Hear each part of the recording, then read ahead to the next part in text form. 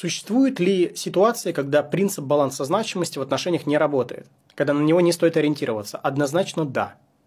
Хочу напомнить, что ключевая причина потери интереса со стороны женщины кроется не в провале баланса, это следствие, а в том, что для любой женщины очевидны признаки несоответствия.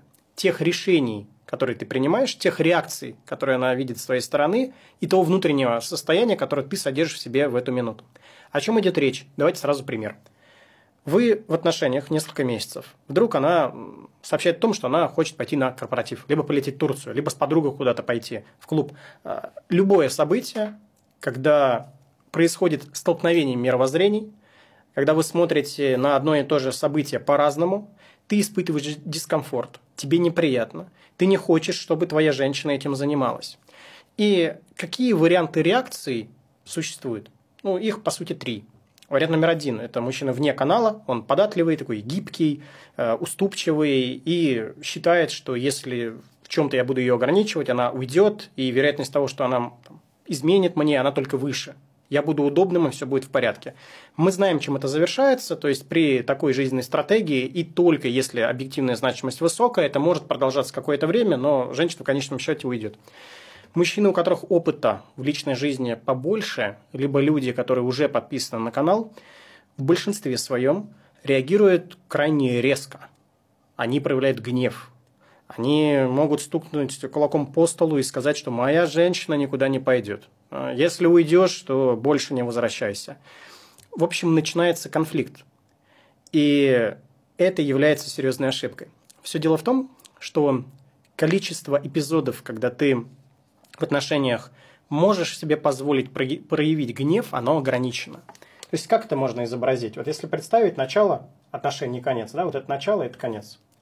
Если ты начинаешь реагировать импульсивно, да, то есть ты здесь разозлился на что-то, сказал, моя женщина так не может, здесь разозлился, еще одну реакцию выдал, возможно, даже несоразмерную, и здесь в конечном счете она становится к этому невосприимчива. Вспомните этот эпизод в ваших предыдущих отношениях где изначально она действительно ну, боялась, можно даже сказать, э, тебя расстроить. Где при наличии даже какого-то недопонимания она очень быстро, буквально через 3-5 минут, приходила к тебе. Где нельзя было даже допустить версию о том, что вы можете поссориться и в этот день не примириться. Но не, не днем, так вечером. Но спустя время ты вдруг заметил, что никто желанием-то и не горит. К тебе подходить, целовать, обнимать, извиняться. Почему? А женщина не видит в этом никакой необходимости. Потому что она, во-первых, знает, чем это все завершается, что это действие, которое ничем не подкрепляется, она к нему становится невосприимчива. И самое важное, знаешь что? Ты ведь стрессанул. Но тебе ведь страшно. Ну, то есть, когда мужчина занимает сильную позицию, ему лень будет тратить свою энергию силы, внимания на то, чтобы по всем этим поводам выходить из себя, из эмоционального равновесия. Повторюсь, это для любой женщины очевидно. А если ты стрессуешь, что это означает? Боишься потерять. И в тот момент, когда ты впервые заметил то, что ну, нет той яркой реакции на то, что ты разозлился, в этот момент лидер она – ты стрессуешь, она лидер.